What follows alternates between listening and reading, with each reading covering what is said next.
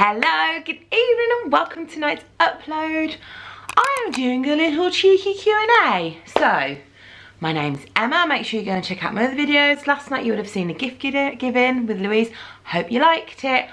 My plan today was to drop the kids off at school and I was going to come back and I was going to put loads of makeup on. And I was going to look all pretty. And then I thought, you know what? No. You know what I look like without any makeup on. So I feel that it's perfectly acceptable to sit here in my pyjama bottoms, a Minnie Mouse jumper and do a Q&A without having to put lipstick on and look fancy because we know what I look like when I'm not fancy. So this is how I'm being today. Um, I'm not sure why I'm doing that. I've just eaten five after eight mints. It's Christmas. And I think I've just finally, I'm just a bit broken. Anyway, Q&A. I went onto Instagram, I went onto Twitter and asked you lovely people for some questiones. Um, the first thing I'm going to say, actually, before I do the questions is thanks so much in the past year because it's going to like, be the last proper sit down one that's not a vlog. Thanks so much in the past year if you've supported me on this channel, for all your likes, all your comments, if you followed me on any of my other social media. I also, I'm just gonna do this, in the middle of a middle, in a, an important speech, I feel there's a hair on the camera. Um, also, I really appreciate if you've liked or commented or engaged in any way in any of the ads that I do because the ads are what keeps the channel alive. So ever so often, it's always going to be the case, going to have to have, have some ads because the money you make from YouTube ads actually is only a couple of hundred pound a month. So if you you know, like an ad, thumbs up an ad, comment an ad, that's really helpful and I really, really, really appreciate it. it means not only do I get to do my dream job and hang out with you lot all the time, but I also get to do my other dream job, which is hang out with my kids and I get to pick them up from school and that's just such a privilege. So thank you. End of cheesy um, speech. So I'm gonna go some, I'm gonna do some, I had so many questions. I was really a little bit overwhelmed. So I'm gonna try and do a few and um, answer some of your questions. So thanks so much if you asked one.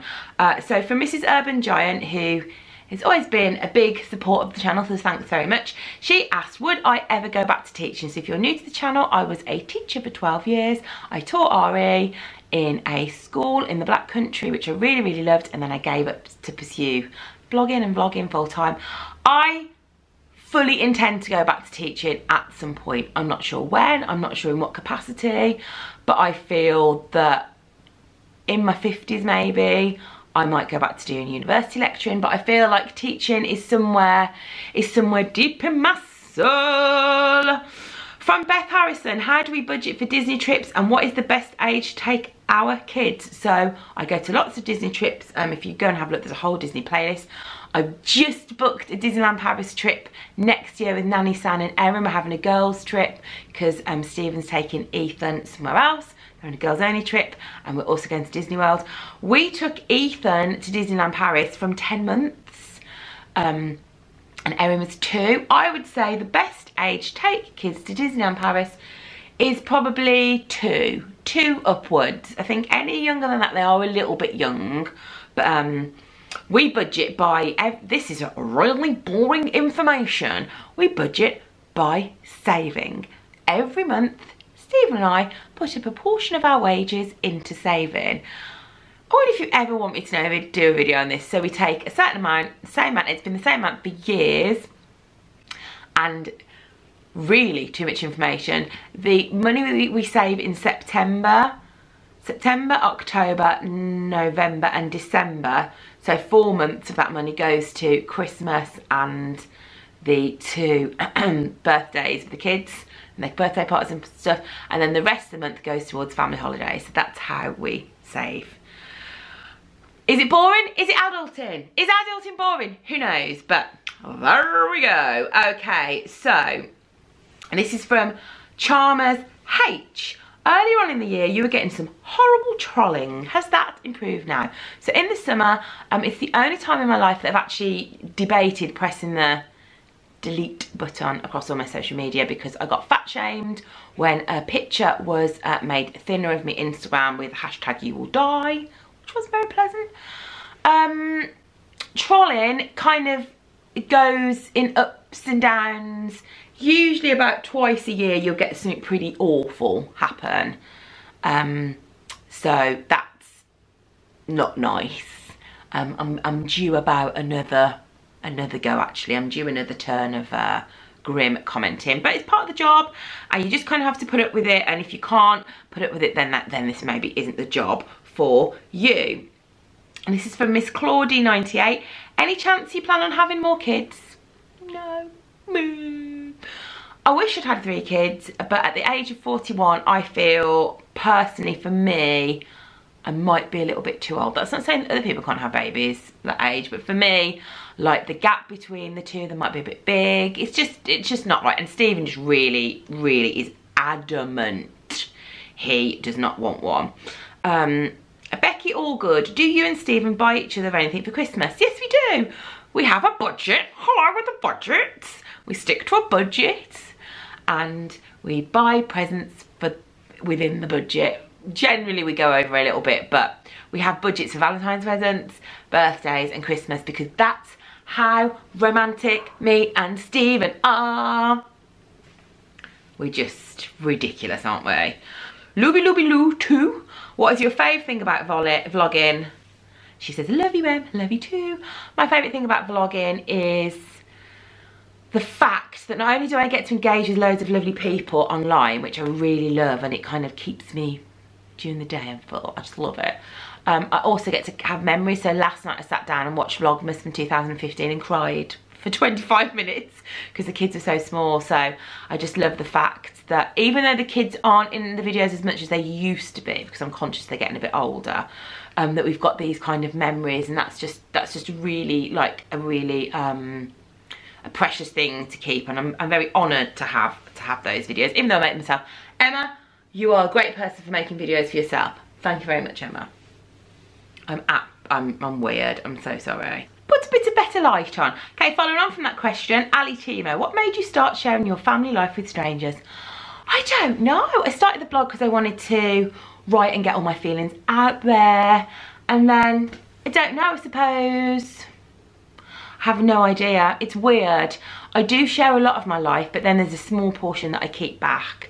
So for example, if the kids are any in any kind of like upset like I wouldn't put that out there like if me and Stephen had a big massive row about something serious I wouldn't put that out there so I share kind of like um, a little bit of an edited life but um, you do see you do see quite a lot but I don't know it's weird isn't it i am obviously a little bit of a strange person so every Friday night on my Insta stories I do a dance what with my Chinese takeaway yes it sounds weird that's what I do let me know if you watch it. Let me know any suggestions to dance to. I usually like to dance to 90s R&B. So, um, what do I order from the Chinese? That is from Kay Logan. So from the Chinese, we go. Are you ready? Same order every week for about 15 years. half rice, one half. Half chips, that makes a whole. Pop in a half chow mein, so you got three halves and then we have a curry sauce. It's the same with prawn crackers. It's the same. Sometimes I have a prawn chow mein and that blows Steve's mind, but it's generally the same. Can you tell that I am a creature of habit? Uh, from country or coast, work goals for next year. My work goals for next year are, um, we've got new mugs coming out in January. We've got Valentine's mugs already designed, ordering today. I'm terrified. There's going to be 500 of them. Also, exclusive, exclusive, exclusive, exclusive tote bags. I've ordered 200 tote bags as well. So if you're not a muggle loving person, you might be a tote bag loving person. Uh, so more mugs. Still working with, some, I still want to work with some great brands. I like producing content that you like. So when we did the Home Sense video recently and also the Wilko one and the JD Williams one, they just fitted in so well into my channel. And it was just such a pleasure to work with a brand that was just stuff I liked. I want to keep doing more of those. Uh, obviously we did Walt Disney World this year, that was just the dream. And I just want to be happy. I want to be happy and I don't want to be too stressed and I just want to have a nice life. That's not very motivational, is it? Maybe a book? Who the hecky hockey knows. This is from IG Abby XO. What was my dream job when I was younger? So what was mine, not hers. so the dream job when I was younger was to work in public relations. So I wanted to be a PR girl. I used to stalk boy bands. Um, you may or may not know that about me. So from the age of 14 to 18, I used to love boy bands. So I'd have Take That and Backstreet Boys and all the boy bands. I would travel all around the country and the boy bands are always notoriously flanked with a man and a woman like their PR person. That's what I wanted to do. So I did media at university and then I actually became a PR person and I was crap at it. Terrible at it. I did it from the age of 21 to 25. It's terrible at it. So my dream job was, I wasn't good at my dream job. So then I became a teacher and I was good at teaching and then I did this. But I think my PR background has kind of helped me in this, this industry. But sometimes you crap at your dream jobs and that's a bit depressing and then you just find something else. Okay, this is from Rosie, 262626, or 262626. Is Stephen shy in real life or just on camera? Oh, I just actually hit myself in the face. Let's do that again. So, Stephen, I love him. The man, the myth, the legend. However, that might be my first sneeze. I hit myself in the nose so hard that I actually sneezed. However, um, it's not that Stephen isn't quiet. It's not that Stephen is quiet. It's just that Stephen um, doesn't really care. I don't know how to describe it. Stephen, he, he, he, doesn't want to impress loads of people. He doesn't want loads of friends. He doesn't. He's not like me He's like, hey, the internet, you must all like me. He's like, I don't care about the internet. I don't want to be on anything. He is quite quiet, but then he will say things that are just cutting obviously with his friends he's not quiet with my family like he he's a bit quiet with me he's not quiet in the house he's not quiet I'd say Ethan is very much like Stephen as well they are kind of like quiet souls in front of other people that when they're on their own you're like are you ever going to stop so um he just he just doesn't want to impress i said to him i was like right it's our 10 year wedding anniversary this weekend i'd like us to do a video about how we met da, da, da, da, da. it's getting really good no. I was like, please, people love it. It's like, no. So you might get a video about me talking about how me and Stephen met without Stephen in it. I might just put a cardboard cutout of Gary Barlow next to it. It's just, he, I've just embraced it. Let me know in the comments the thing about your other half that annoys you or that's just kind of other people are baffled by. Um, okay, this is from Amy D1608, what's your greatest achievement? I love your videos and kiddos, they're amazing. Thank you very much, Amy. My greatest achievement, let's put the children aside because obviously my children are my greatest achievement. Um, things I'm really proud of is that I obviously I was been poorly a couple of times in my life when I have been like on a wheelchair and stuff. And the second time I was in poorly like I did have damage on my leg.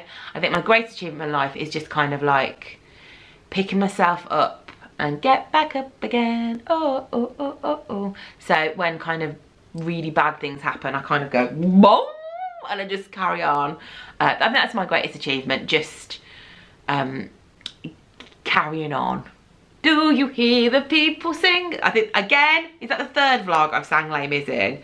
I'm going to answer, I'm going to do three more questions, I think. I want to find like a real, real juicy question. We've got lots about Disney. A few people have asked, Stacey's asked and Hope has asked about my favourite thing about 2018. So my favourite thing about 2018 is obviously my Disney trip. So I went to Walt Disney World with Walt Disney World, which was just like, dream. I cried when I got that phone call. In fact, when I filmed this video this time last year was when I got the phone call, sobbed. Um, that was really amazing. And also the mugs are really amazing. I won a couple of awards which were really, you know, really fantastic. Um, this year has been a really good year work-wise. That's been really, really good. This year's been a bit tough family wise because Erin has had a couple of health issues she's fine don't worry it's being sorted. But that has been been tough. So kind of like my highlight for me has been seeing her just just get on with it. She just gets on with it. She just cracks on and that's that's a real highlight as well. This is from Folly I don't. Will you be hitting the Boxing Day sales? Hell yes I will. Let me know in the comments if you want me, Nanny San and Claire to do a video of Boxing Day because that's what we do on Boxing Day. We get up on Boxing Day morning, we have our breakfast, we don't even want our breakfast, we're just eating it, fuel for the sales, and then we go to the sales. Last year, some of you saw me in the sales, we had photos in the Lush queue because there's nothing I like more in life than cheap bath bombs. So you will see me in that queue. This year, I am going to take me 50 quid to those Lush bath bomb sales and I'm going to buy 50 quid's worth of sale bath bombs and they're going to keep me going for a year. That is my plan. Um, I mean, it's I don't really have any aspirations for work or life apart from to get cheap Lush bath bombs. So yes, I will be doing Boxing Day sales and let me know if you want a video. I'm sure last year we managed to go shopping, film it and have it up on Boxing Day. Boosh! Because that's the kind of person I am. And the penultimate question from Alex 431. Any update on non-mummy meetups? I work with team called Paul and Grace. Hello if you're watching Paul and Grace. And Paul has some sort of plans for me to do some meetups in different parts of the country because I do a bi-monthly meetup in Birmingham and I am thinking of maybe doing one in London, perhaps one up north. So keep your eyes peeled. I was going to say keep your eyes posted. That don't make no sense. Okay, we're going to end on a positive note. Um, this is from Leah Victoria Stocks. How are you always so happy and bubbly? Um, I have my moments where I'm not happy and bubbly. I have my moments where I'm weeping and shouting like the rest of the, you know, the universe. Ask Stephen. I'm sure he could give you a plethora of examples where I've been screaming at him. Um, I generally am quite a bubbly person because I think when you've been a little bit poorly and you've spent time in bed, you kind of see the pleasures in like the tiny magical moments. That's why I think I love Disney so much because like you, otherwise you won't take things for granted. I don't take, take things for granted because at one point I couldn't get out of bed to take my kids to school. So now when I take my kids to school, even though sometimes they drive me mad, I'm like, but at least I get to take them to school. So that's probably why I'm quite bubbly. I'm quite a gobby person naturally. I'm quite talkative, I'm quite chatty. Sometimes to the point where I have my foot firmly shoved in my mouth because I've said something stupid and I've offended lots of people. But um, I think kind of if I would give you any gift of my wisdom because I'm 125 years old, I would say embrace who you are, be happy with who you are, don't try and be anybody else. Comparison is the thief of joy. If you are kind of, your blinkers are going like that and you're starting to go, but they've got that, or but she looks like that, or he's doing that, you need to go and just focus on yourself. You know, it's for example, these are tragic examples. Like nobody's ever come to me and gone, Emma, we'd like to produce merch with you. So I've produced my own merch.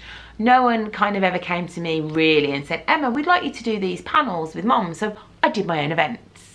So focus on yourself, do your own thing, and surround yourself by people that make you happy, no matter how silly they are, and always be silly, because I like being silly.